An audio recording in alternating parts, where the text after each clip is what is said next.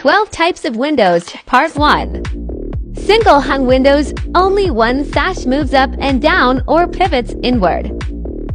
Double hung windows, both sashes move up and down or pivot inward.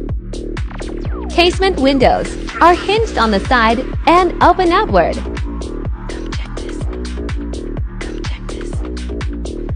Sliding windows, sash slides side to side.